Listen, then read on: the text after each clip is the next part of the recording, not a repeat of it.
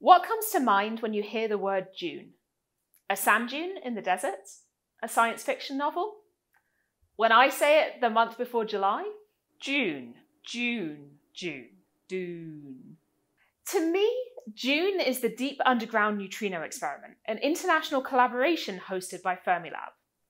Dune will explore some of the exciting aspects of neutrinos we've been talking about in this series. It's under construction now and it is a huge endeavour. Scientifically, a big deal, but also literally huge. As in 68,000 tonnes of liquid argon huge. Four detector modules, each as long as a commercial jet huge. Plus, it's a mile underground. Dune will be by far the largest liquid argon neutrino experiment ever. So, how do we go about developing such a massive detector? That's what we're talking about today on Even Bananas.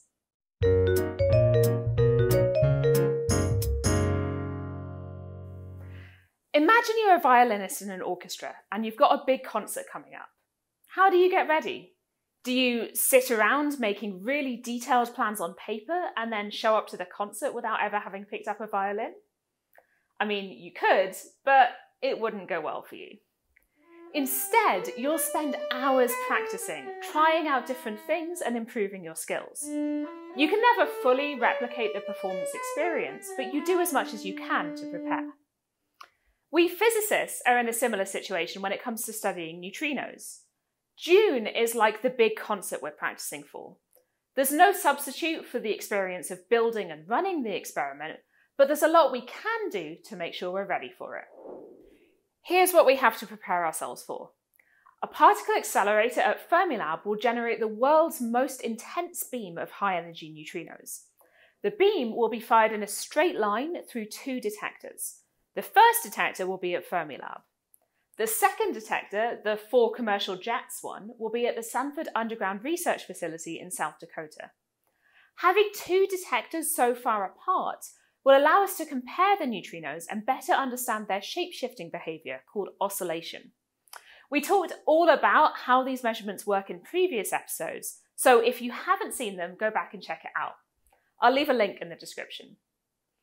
One of the really innovative things about Dune is the type of detector it will use liquid argon time projection chambers.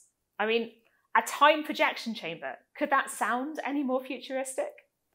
To find out more about how we're preparing to build these detectors, I'm joined by Bryan Ramson, a Fermilab physicist who works on Dune and NOVA. Hey, Bryan. Hey, Kirsty. Hi, Internet. I'm working on an experiment called ProtoDune, which is a prototype detector for Dune.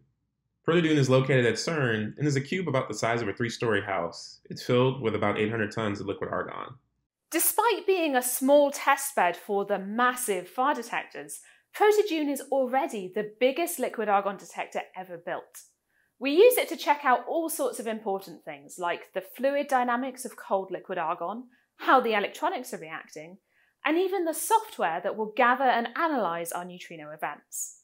We also get to try out advanced new technologies and figure out what will work best for Dune, like trying variations of a piece of music to work out the perfect melody. One of the things I'm really interested in is our system for detecting light, called photon detectors. Using this, we'll be able to make better measurements of neutrinos from supernovae, which can give us a look at how stars explode and form black holes. We can also search for signals of proton decay, which have never been seen before, and some grand unified theories predict it should happen with a decay lifetime of more than 100,000 billion, billion, billion years. In ProtoDune, we've tested out a mix of older and newer technologies to see which is better. A photon detector technology called Arapucas, designed by our Brazilian collaborators, did really well. It's a new idea that collects a lot of light from around the detector using something that's a bit like a bird trap for photons. Proton decay, if it happens, is incredibly rare. But Dune's 68,000 tonnes of argon will have a lot of protons.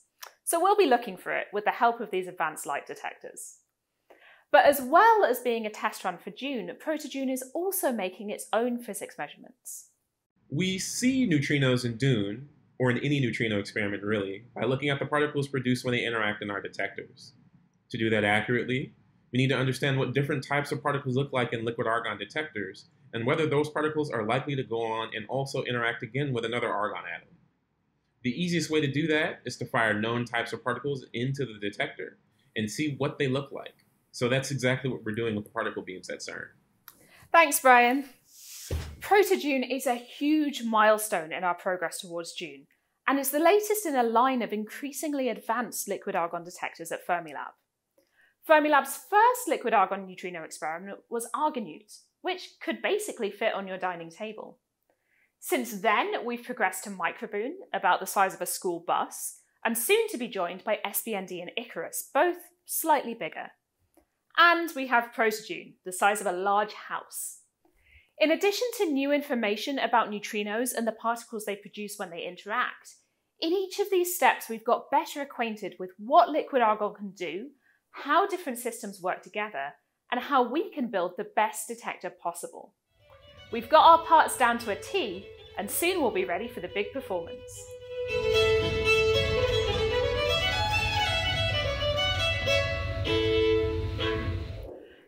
Dune is going to do a lot of cool science.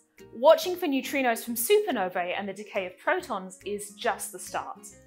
You already know that one reason neutrinos are my favourite fundamental particles is that they could be the key to why there's more matter than antimatter in the universe. That is one of Dune's big science goals, and we'll talk about it next time on Even Bananas. If you had the chance to work on Dune, what aspect of the project would you choose? Tell us in the comments. And don't forget to like, share, and subscribe so that you're the first to find out when we're back with our next journey to Neutrino Land. Fun fact! At minus 300 degrees Fahrenheit or minus 184 degrees Celsius, the inside of each Dune detector will have about the same average temperature as Saturn's atmosphere. It's so cold that each detector module will shrink by about 16 centimetres when the liquid argon is added.